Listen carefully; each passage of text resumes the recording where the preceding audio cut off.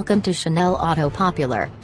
The Mito is Alfa Romeo's first evidence Supermini since the Alfa. Its 33, 145 and 147 models having been gone for the bigger family bring forth showcase. What's more, alongside another fragment, Alfa is gunning for another kind of client, one more youthful, hipper and, albeit cognizant of the Alfa mark, maybe not all that tied up in its history. Alfa, to put it plainly, needs to deliver its own particular Mini, with which any likeness in the name is absolutely unintentional.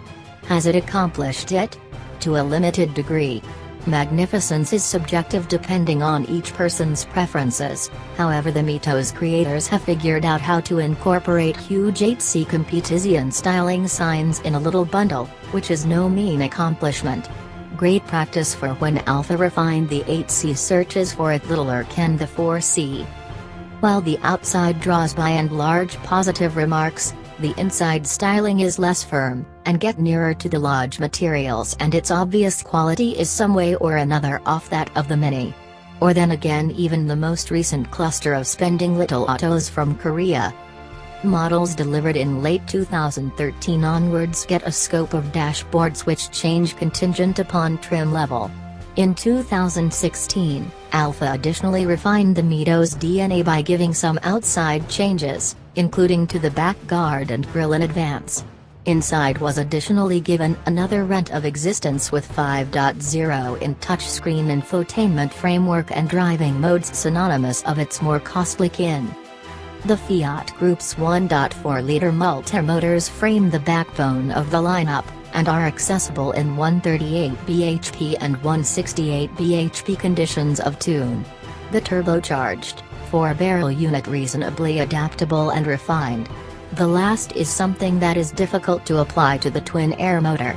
The two-chamber unit has a lot of character, however sounds thrashy and requires steady gear changes to get the best from it.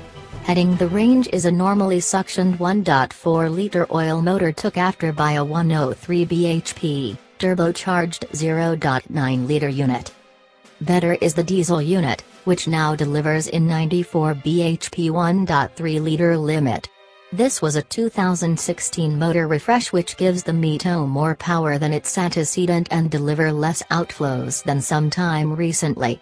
It is likewise a satisfactory entertainer, in regard of execution, economy and execution, as long as the rev counter doesn't extend to the furthest points of the rev run. At last, the Mito's flow are hampered by the standard fit DNA framework which spins through three drive modes, adjusting the directing feel and motor yields. Combined with an over-firm ride and ambiguous directing, the Mito neglects to coordinate the fun aura of the Mini. So the inquiry is, can Alfa Romeo's style, character and legacy adjust for various evident weaknesses?